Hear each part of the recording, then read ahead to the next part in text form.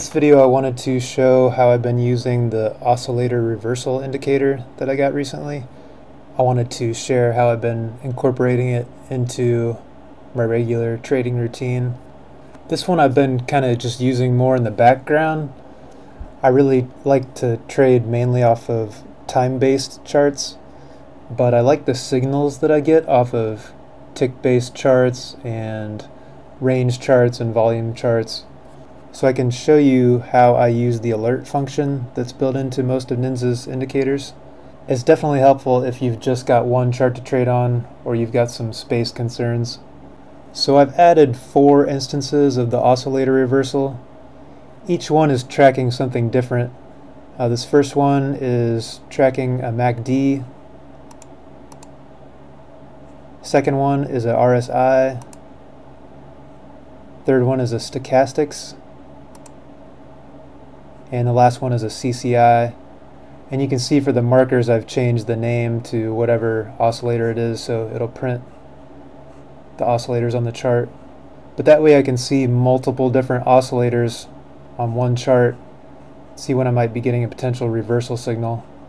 And you can apply this oscillator reversal indicator to any oscillator. It also prints the oscillator down below and shows you oversold and overbought conditions and it has these highlighted colored ranges that you can totally change the color of all this and the color of the signals and what they say or you just want symbols for the markers you could do that too. You can also change the threshold for the center and the high and the low. So this center line here and then where it would start printing this shaded area. So this is the settings I have for the MACD on this particular time frame and instrument uh, threshold center of 0, that's the center line, and then 10 for the high and negative 10 for the low. And I came up with all these different settings just by printing it on the chart, and then if I have too many signals, I will make this range bigger, and if I have too little signals, I'll make the range smaller. And I just kind of find what setting works best for each different time frame. It'll also vary between instruments. If you trade something slower like the ES, you might not get as many signals using the same settings that I use for the NQ charts. So you definitely want to fine tune these settings depending on what time frame or what chart type and also what instrument you trade, whether it's a faster moving instrument or a slower moving instrument. But I really like the settings that it's generating on this tick chart here.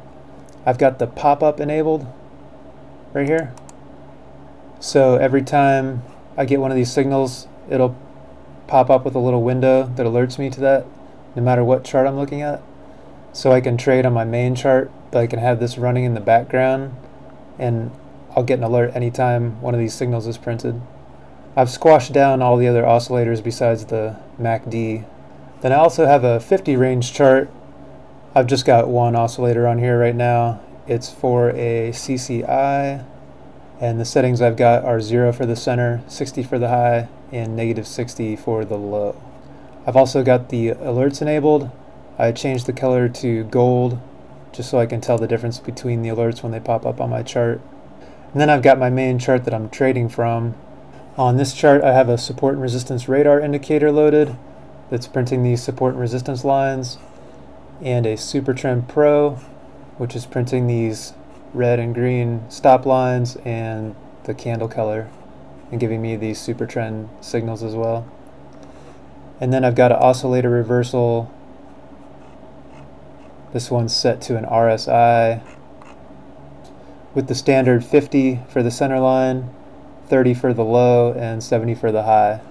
But you can see when we're entering into oversold here, the oscillator turns red and gives you a heads up.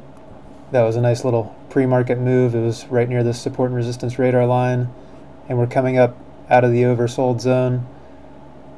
Could have taken a nice trade there up to this next support and resistance line. You can see that even though we're in a downtrend on the super trend, we start getting these hollow candles printing, which means the trend's weakening. I'll often take counter trend trades when I get the hollow candles. So I've got some market replay data loaded for September 26th I can show you how I'd trade the system with the alerts. See, I've got these charts running in the background. the 377 tick and the 50 range. And then this is my main chart that I trade off of. And I've got my five minute longer term chart over here. It's just got a super trend and an intraday adaptive support and resistance indicator. Uh, you can see in the pre-market we had a bullish super trend print on the five minute and we had a nice pullback right to the center line on the intraday adaptive support and resistance and we took off over a 100 point move in the Nasdaq right there. We had a super trend we had a super trend turn bearish right before the market opened but we're coming up right to these support and resistance radar lines, a lot of resistance right there. So I would have definitely waited till it broke through these lines before I got into a short. And as you can see, it bounced right off this support and resistance radar line. And then we got into a super trend long in the same direction as the trend of the five minute. And we had a nice move up to this next support and resistance line and it kept going. So we've had a really nice move up we're pulling back close to this support and resistance radar line. Uh, we've got our super trend stop here. I often trade right off of these levels too. And another support and resistance radar line right below that. Definitely more interested in longs as the trend is definitely up right now.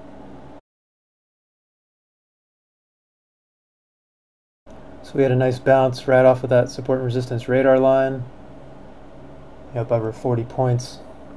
Our super trend started printing strong green bullish candles. So just got a bearish reversal signal on the 377 tick chart. Two of them. I can click over and look real quick. Stochastic and an RSI. Uh, we are coming up at whole number. We've got this support and resistance radar line up here. Price is moving higher. RSI is a little bit lower. So there's a little bit of divergence. I'd go ahead and get into that trade. I'd move my stop above the support and resistance radar line and I'd be targeting the support and resistance radar line down here. Now I've mentioned before that I'm not a big fan of set take profit and stop loss levels. I I like to put my take profit and stop loss just wherever they need to be above or below the most recent support and resistance or the most recent highs and lows. But you can see I've got this chart up that I'm trading off of and I've got my five minute chart as well. So having another chart with a bunch of oscillator indicators might be a little bit confusing but having it run in the background and just giving me pop-ups when the condition is met that's really helpful then I can click the tab over and see what's going on really quick and then come back to my main trading chart. So I'm able to absorb a lot more information. That was a nice trade. We just got two bullish reversal signals. I do like taking trades right off this super trend stop line. I know we did get a print downward. Uh, we've got a lot more resistance right here if you just look at price action. Price is stalled out in that range. We've got the huge uptrend this morning. We're still in a bullish trend. And we just got a hollow candle print on the super trend. There's not really enough room to warrant that trade. Uh, it might be good for a little scalp. But you'll see these super trend stop lines often really hold. I like to see price break these super trend stop lines by more than just a couple ticks. Like over here you see price broke above pretty far above this line and that's when we had the trend continue. It even pulled back right to the stop area before it took off. Uh, this time, you know, the candle barely crossed over, so all kinds of little nuances that you'll notice once you get more experience trading each indicator and how it moves on the particular market and time frame that you trade. But you can see that bounce trade worked out really nicely. And we had that help from the 377 tick chart alerts. We get a super trend print long. What I'm noticing here is we're getting some pretty major divergence in the RSI. Price has been moving higher. The RSI is moving lower. We are in a strong uptrend. I wouldn't be surprised if this made it back up to this next support and resistance radar line up here. But right now I'm keeping my eyes open for a short with all this divergence going on. Alright, there's one bearish reversal signal. We have a stochastic. Same thing over here. Price has been moving higher all morning, but our MACD oscillator is still lower. So we're coming up to this support and resistance line. Uh, we're still getting strong green bullish candles on our super trend. So I just want to give it a little bit of room to breathe. See how far it might want to go up. I try to have as many factors as possible working in my favor before I take a trade. You can see over here on our support and resistance radar histogram, we have some pretty big resistance right up here too, around 50 and 64.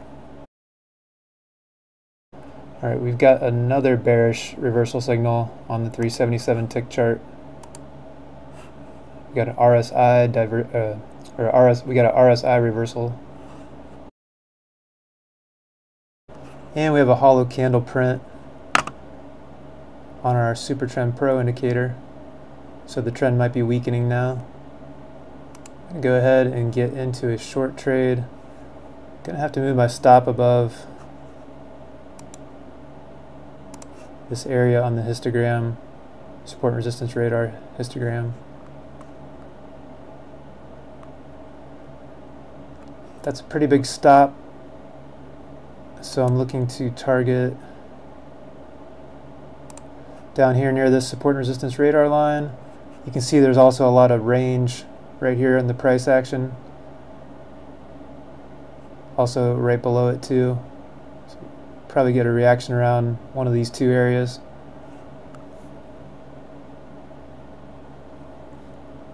But I've gotten two bearish reversal signals on my tick chart. I'm seeing divergence on both charts. I've got a bearish reversal signal on the 50 range now. So that's three bearish signals. I'm going to go ahead and move my stop down to right above these highs here. Now that we're in some profit. See, we've lost the support and resistance radar line there, so I'm going to go ahead and move my take profit right to this super trend stop line. These lines are dynamic, so they change throughout the day depending on which lines are being hit the most. So when we lost that support and resistance radar line, I wanted to play it safe, and I moved the take profit right up to this super trend stop line, which now is being broken um, we got a super trend printing short. Our RSI is still moving downwards. I wouldn't be surprised if price came down and touched this other major support and resistance line down here. But it's after 1030.